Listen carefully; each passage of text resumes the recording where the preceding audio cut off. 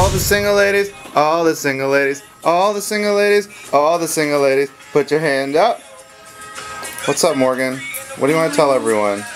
You know, sometimes you put yourself out there and it doesn't work out, but that doesn't mean it won't work out in a few weeks, in a few months, in a few years. So. Well, this is your chance to tell everyone on social media that holla, holla at your girl right here.